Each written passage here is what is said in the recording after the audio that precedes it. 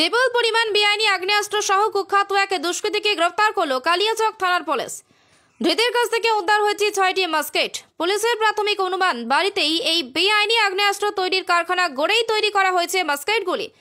তবে এগুলি কোথায় পাচার করা হতো সেই ব্যাপারে তদন্ত শুরু করেছে পুলিশ। সোমবার মধ্যরাতে গোপন সূত্রে খবর পেয়ে দক্ষিণ লক্ষ্মীপুর এলাকায় অভিযান চালায় কালিয়াচক থানার একটি বিশেষ পুলিশের দল। ধৃতের বাড়ি থেকেই এই আগ্নেয়াস্ত্র উদ্ধার করা হয়। মঙ্গলবার ধৃত ওই দুষ্কৃতীকে সাত দিনের নিজেদের হেফাজতে নিয়ে জিজ্ঞাসাবাদের জন্য মালদা আদালতে আবেদন জানিয়েছে কালিয়াচক থানার পুলিশ। পুলিশ সূত্রে জানা গিয়েছে, ধৃতের নাম দিলবার শেখ। তার বাড়ি থেকে উদ্ধার হয়েছে বেআইনি ছয়টি মাস্কেট, যেগুলি রাইফেল জাতীয়, এক প্রকার দেশে বন্দুক। এগুলি বাড়িতেই তৈরি করার ব্যবস্থা করেছিল অভিযুক্ত ওই ব্যক্তি। পুলিশের প্রাথমিক অনুমান, ঝাড়খণ্ড থেকে বেআইনি আগ্নেয়াস্ত্র তৈরির কারিগর এনে হয়তো সেগুলি অভিযুক্ত ওই ব্যক্তি তাঁর বাড়িতেই তৈরি করেছিল।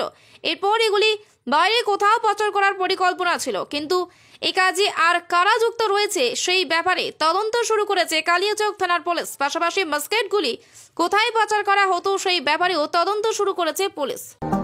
জুয়েলার্স মানে B Das and sons jewellers নতুন রূপে নতুন সাজে।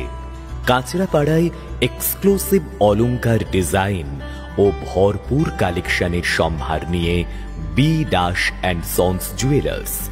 নতুন রূপে নতুন সাজে।